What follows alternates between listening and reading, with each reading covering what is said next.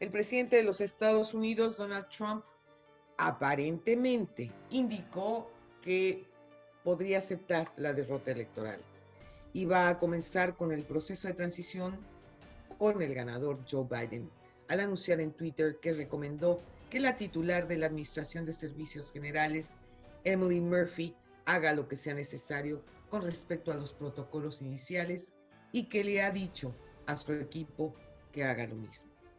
Pero, ¿cómo va a ser esta transición del gobierno de Donald Trump a la futura administración del demócrata? Quédese conmigo esta noche. El programa va a estar muy bueno. Esto es Frente a Frente, periodismo con responsabilidad. Comenzamos.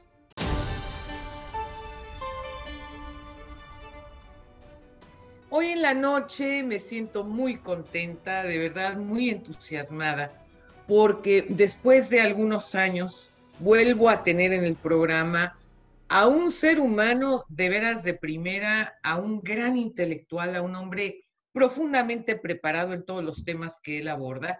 Y eso para mí es muy emocionante, de verdad, porque uno a lo largo de la vida, pues, eh, entrevista a todo tipo de personajes, unos buenos, unos malos, unos regulares, pero este particularmente para mí es verdaderamente excelente.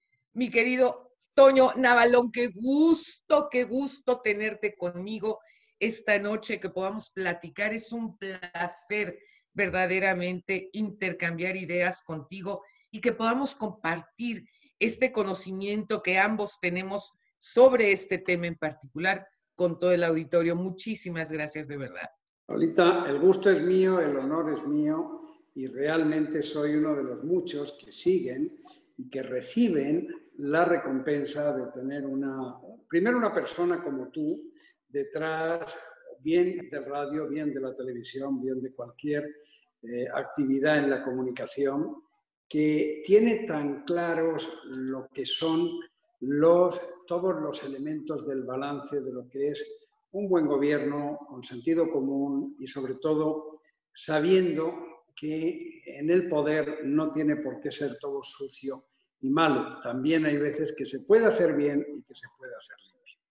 ambos dos vivimos en este país, en los Estados Unidos, y ambos dos estamos viviendo esto, inclusive familiarmente, en el sentido de que vemos cómo está la sociedad y cómo estamos.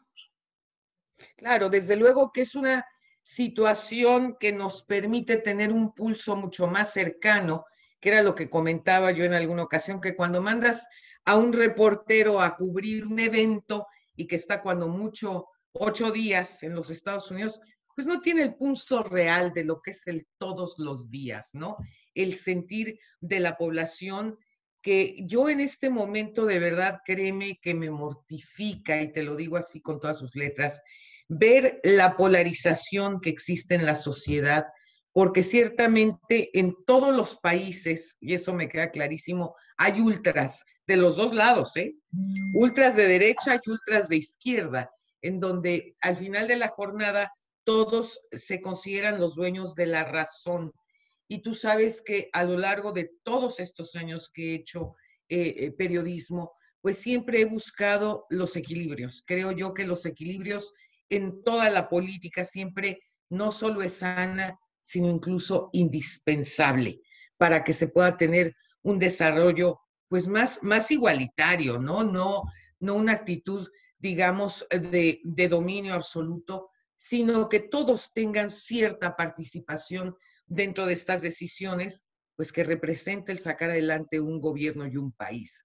De verdad, me preocupa en los Estados Unidos sentir y ver que hay un nivel de polarización más allá del resultado final. Fíjate lo que te voy a decir. Eh, y esto lo estaba yo pensando, digo, vamos a suponer que en un momento dado el presidente Trump ganara las denuncias, las demandas, vamos a suponer. Pues aún ganando pierde. aún ganando pierde porque hay una, hay una polarización brutal, ¿no? Y tendrías entonces en contra a todos los demócratas y Black Lives Matter y todo, todo lo que viene atrás que eso es pues parte del grupo de los demócratas. Eh, perdiendo ganando el, el, eh, presidente electo Biden hasta este momento. Ganando este Joe Biden, desde luego también los republicanos pues van a estar muy enojados. Entonces, aquí la gran pregunta para ti esta noche es, ¿cómo se hace para poder conciliar y para evitar este nivel de enfrentamientos que ha sido la constante, a pesar de la pandemia, ¿eh? ha sido la constante a lo largo de toda la campaña. Mira, Lolita, yo personalmente creo que desde Abraham Lincoln, nunca un presidente, el 20 de enero va a entrar en la Casa Blanca con un país tan dividido, tan polarizado y tan enfrentado. Es más, de hecho, en este momento estoy en Nueva York. Eh, en este momento yo percibo, hace muchos años que tengo relación con esta sociedad y hace muchos años que he dedicado mi vida a tratar de entender el papel tan dominante que han tenido.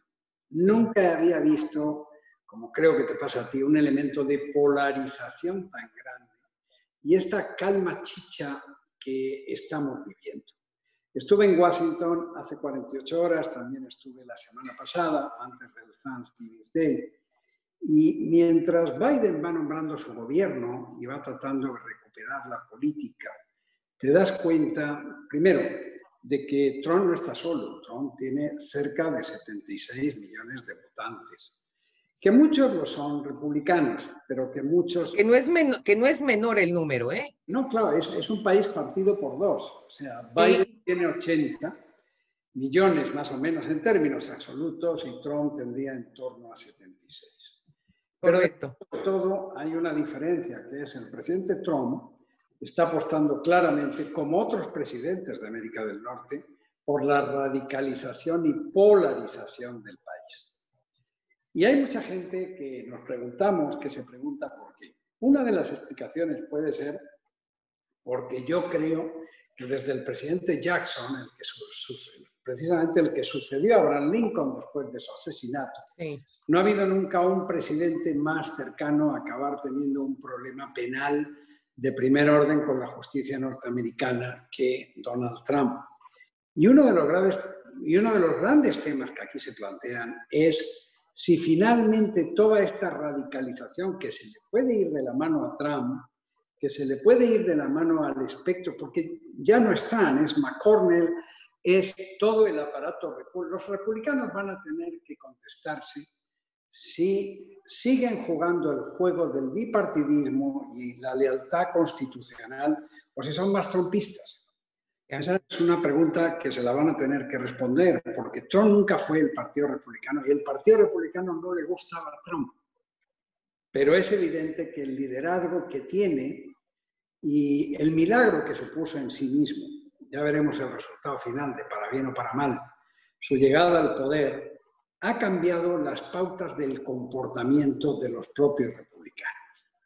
Entonces aquí tenemos los extremos, que siempre los hay, como muy bien decías, en las dos partes, pero luego tenemos también un fenómeno nuevo, que es la ruptura del statu quo.